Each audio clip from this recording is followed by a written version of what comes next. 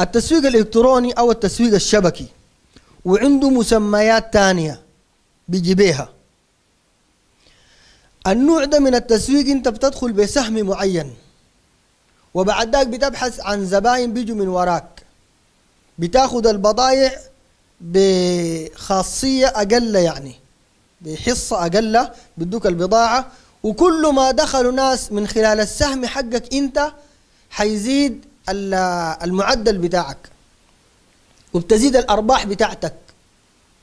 فده نوع من أنواع التعامل اللي بيدخل في دائرة تعامل الميسر لأن المحرمات في البيوع كلها إما أن تكون من باب الربا أو من باب الميسر.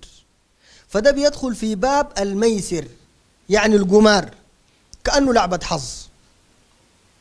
انت بعد ذاك بيزيد رأس مالك أو بيزيد المنفعة بتاعتك بقدر زيادة الناس اللي بيجوا وراك. فهذا من الميسر ومن أكل أموال الناس بالباطل ولا يجوز. إن جاد بمسمى التسويق الشبكي أو بأي مسمى ثاني